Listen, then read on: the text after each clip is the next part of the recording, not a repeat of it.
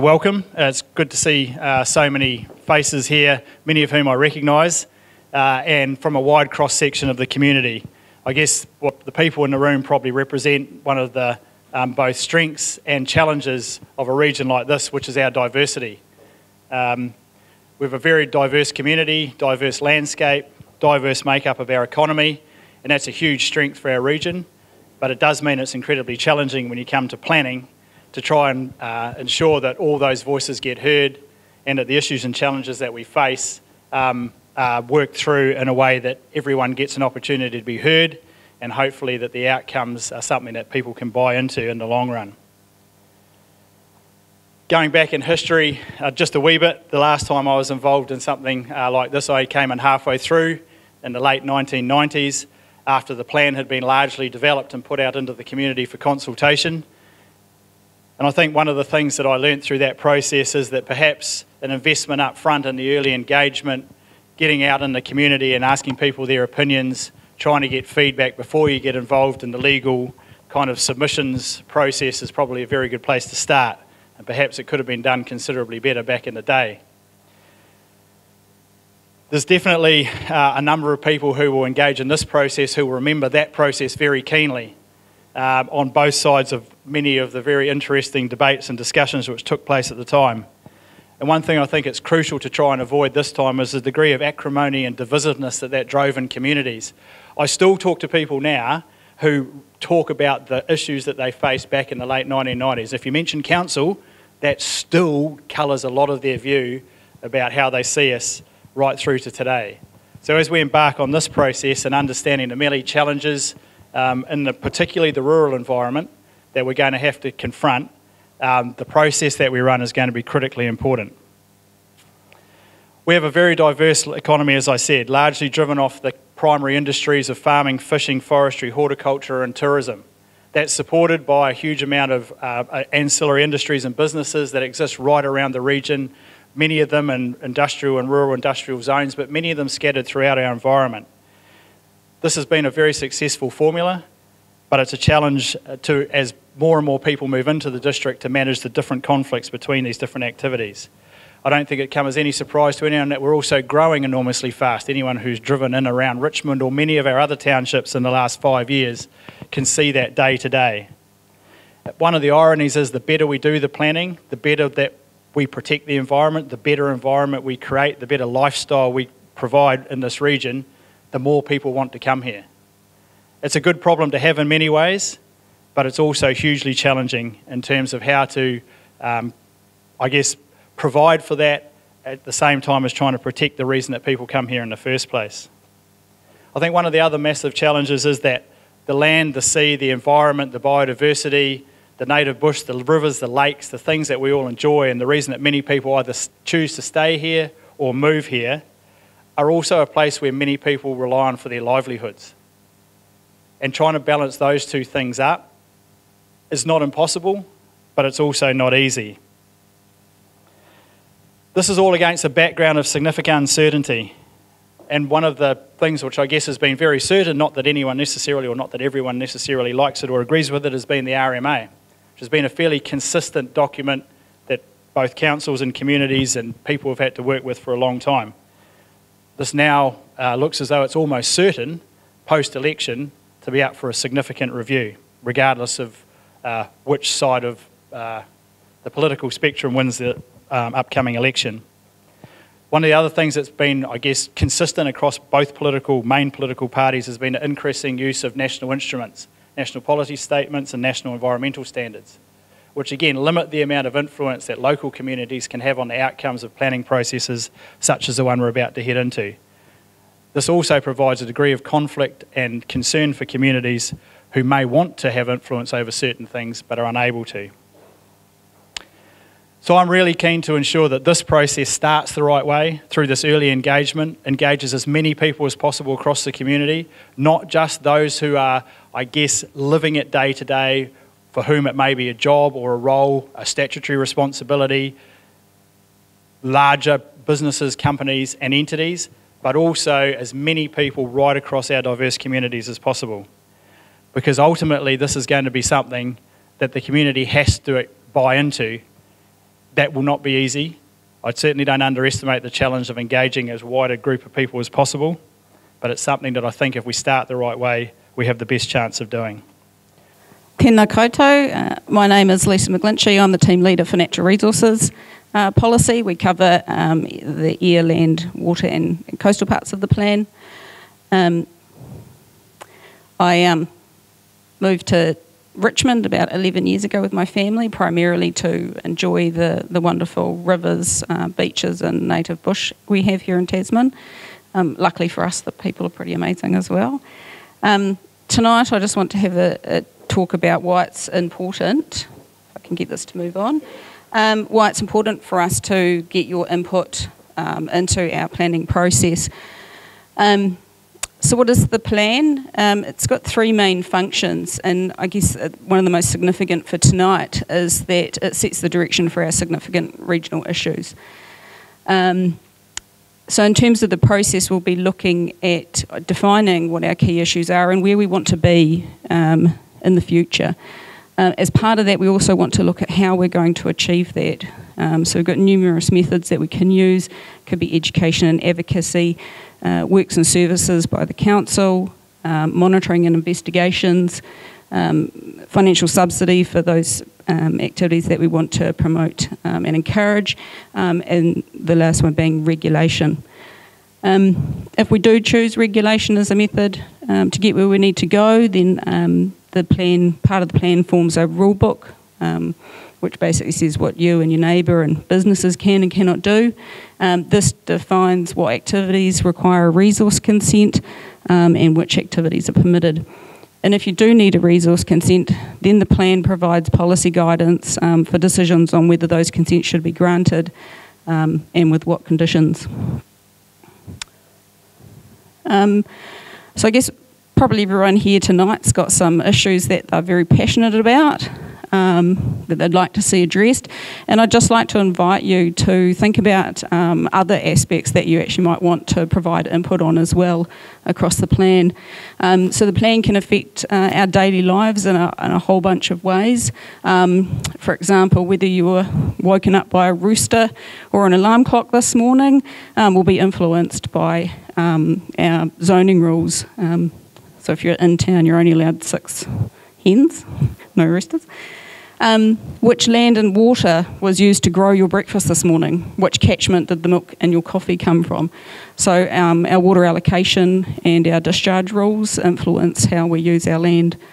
Um, where your place of work is and how easy it was for yourself or your employees to get to work in the morning is influenced by our zoning and our transport rules, um, which influence how our urban and rural areas grow um, and how easy it is to get around the district. Um, when you arrive at work, you might use the restroom after all that coffee. Uh, where does it go? Uh, and where should it go? So currently, our treated uh, wastewater is discharged to the sea. Should it be discharged to land like our biosolids? Um, on your way home from work, there's a storm brewing. Do you need to be concerned about whether your house is going to be flooded or whether a, uh, a landslide might occur? Um, our natural hazard rules uh, provisions seek to place new development in areas that aren't at risk. Uh, the weekend rolls around, you've got friends to visit, and so you decide to take them to some special places in Tasman. So, what makes those places special, um, and how might we protect some of those characteristics? Uh, can you swim in the beaches and the, the rivers that you take them to without getting sick? Uh, is there abundant bird life and fish life? Um, and if not, how can we make that better? Um, so, these are just some of the ways that the plan um, can affect our daily lives. Um, but it's really important that we hear from you what your priorities are, what you value, so that we can make sure that the, the plan has the right drivers. Thank you, everyone. Yeah, my name's Barry Johnson. A little bit like uh, Lisa, I'm, I've only recently moved to Tasman. Um, the reasons I've moved here is probably the same reasons you're here tonight. It's a great place to, to live, to work, and to play.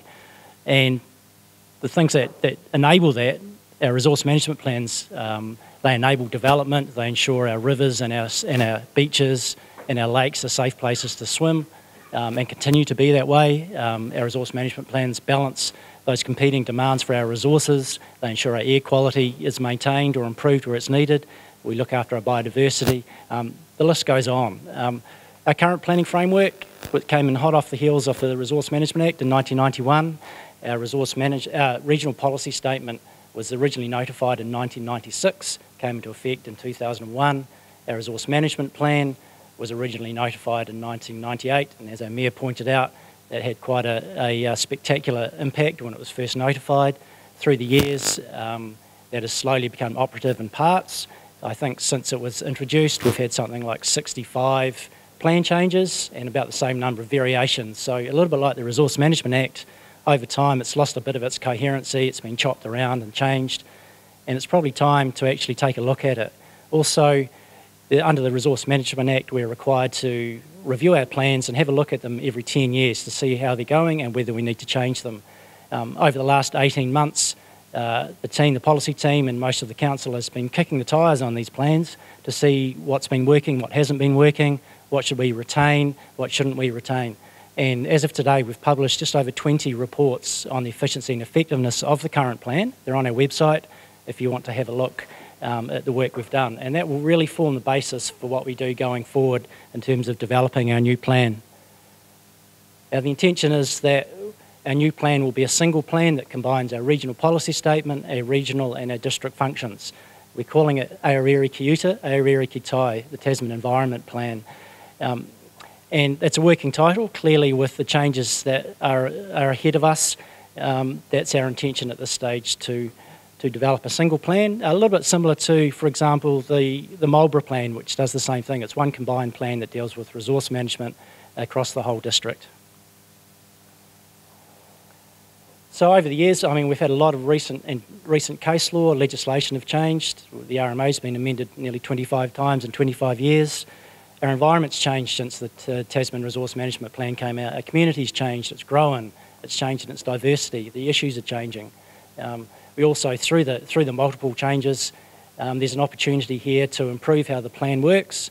We have new planning standards which require us to rewrite our plan in a particular format, which is similar across the country. Um, and the amount of national direction that's coming out means that there's added complexity and added scale in what we're doing. So there really is an opportunity here to take a look at what's working, what do we need to change, and to update our plan and bring it into kind of the modern era. First thing we need to do in this first round of community engagement is all around what are the what are the big issues for Tasman? What are the big environmental issues? Now we've heard through the likes of the long-term plan, community engagement, through um, the Te Tauihu intergenerational strategy. We know what the big issues are, and we want to check in with the community. Have we got those right?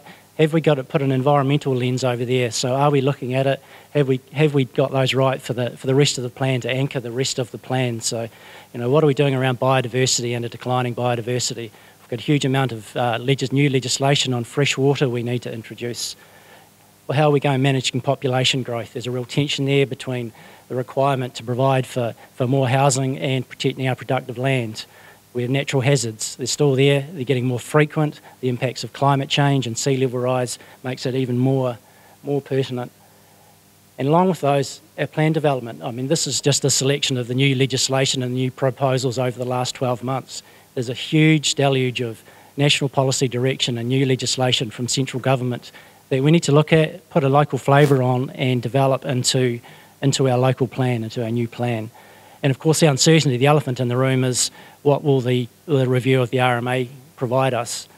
Um, certainly, the, the Randerson report, the review of the RMA that's come out, clearly looks a lot about process and streamlining the process. So, if we look at that, we can assume there's always going to be plans, there's always going to be some sort of consenting environment, but what it really looks like, we'll just have to wait and see. But certainly, these early stages, the things that matter to the community, the values, the things that the community finds important, and the environmental outcomes, we're not likely to see those change much over time with new legislation.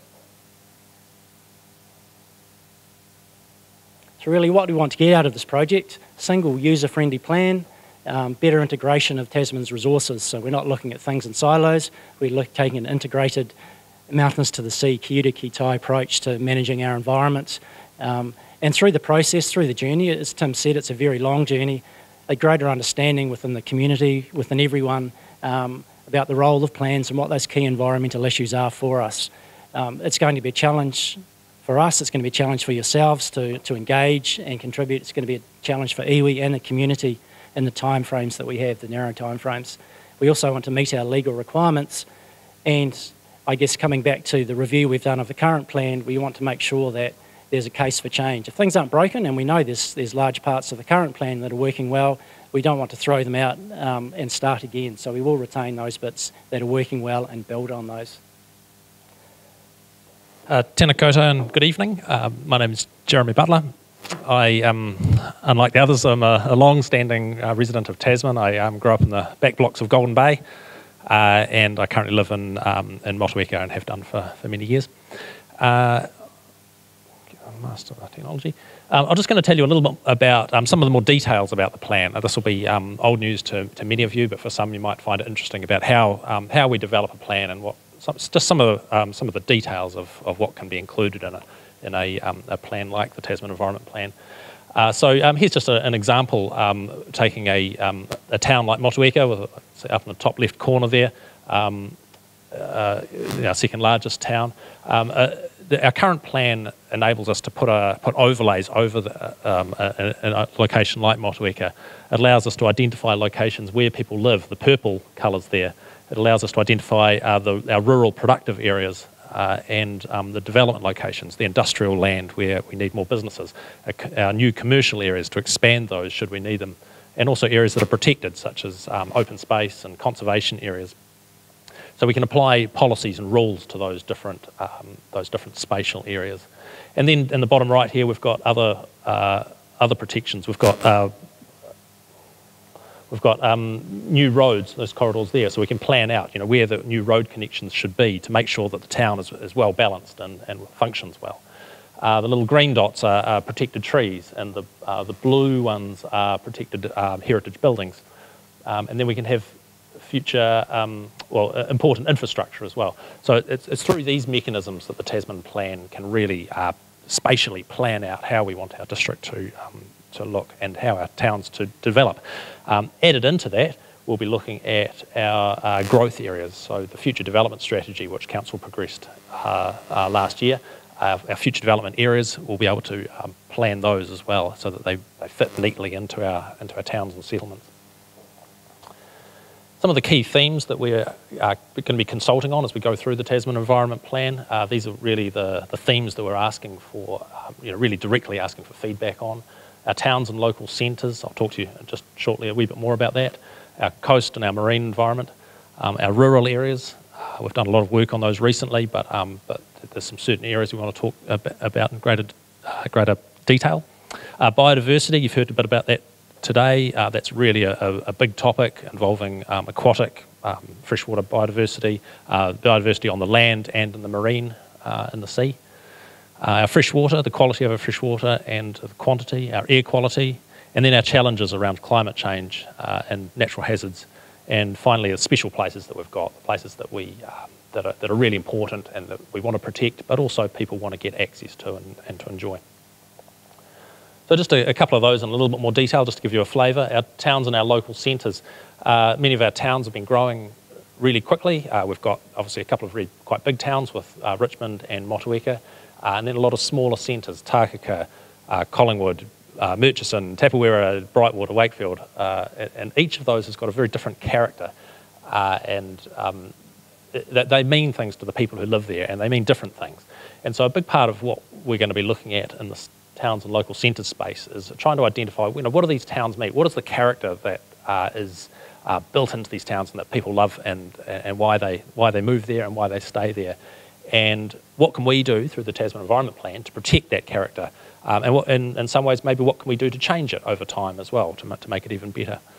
And uh, looking at other aspects, um, as, as, Barry mentioned, about having a, a really well-rounded process to um, to look at everything else, like the, the, the, quality of the water and the streams that runs through, the access to uh, to jobs and to um, uh, entertainment and to the commercial spaces, so that you can get to those places easily from your home.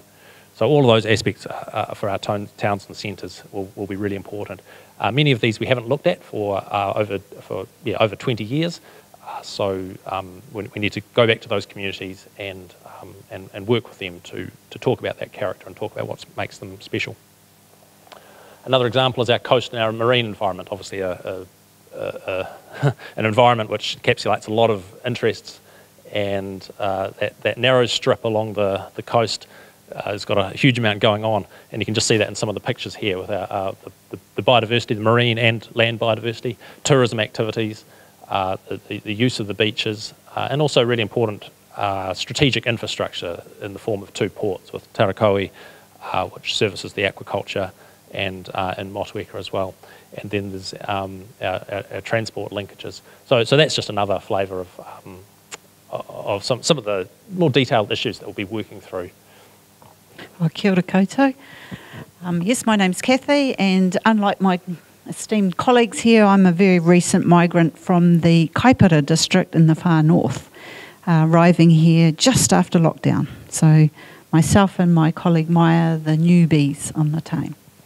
But absolutely loving the district. I love the food, love the mountains, love the beaches, love the rivers. It's just a stunning place to live. So, thank you for your warm hospitality. I've met some really awesome locals as well.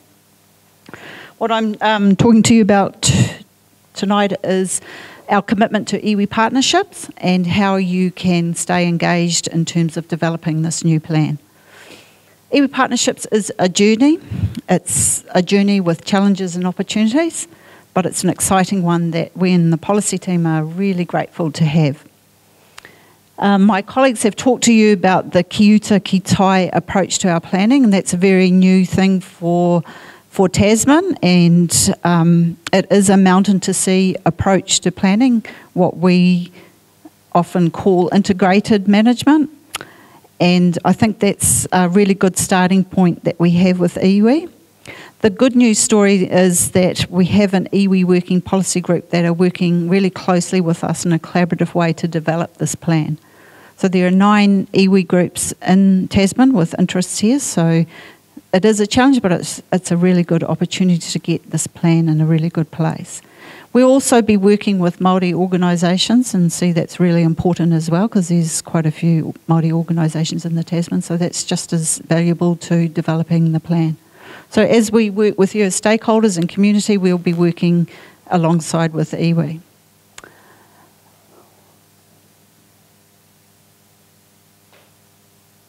You won't be able to see this slide, but my next um, sharing of information is around how you can stay engaged. So this is really important that you've come tonight and how we, we want you to go away feeling really excited about staying engaged with us. So as um, Barry talked about, we we've done the looking backwards at the, the current plans and now we're all looking to the future. So this is where we need to go, people. We're going over here. This is where we're at and this is what we're wanting from you is your issues, your values, and what you think is going to, the future is going to look look like. So working together with iwi, with stakeholders, community, we all need to work towards a sustainable future for all of us. What these future years look like, we still don't know because of the RMA reforms, but we're in a really good time space and landing with all your issues and values up front now so we can deal with what comes out of our newly elected government. There's three engagement rounds that we've planned, but they may change in the future, next year and the following year. We're in round one at the moment, which is looking at our different wahi and looking at the issues that you see and the opportunities for managing those issues. and that, that's we're doing that in the next couple of months, and we do that alongside regular meetings with iwi and um, and, and stakeholders. So this is where we're at, and this is where we head to once we've received all our all the issues that we from yourselves, the stakeholders from community and iwi, we'll put them all and um, have a good look at those, analyse them, and take them back to the elected members who will provide us with some clear direction on taking them back to you and testing that we've heard you correctly, and that some of the proposed options meet meet the needs to address those issues.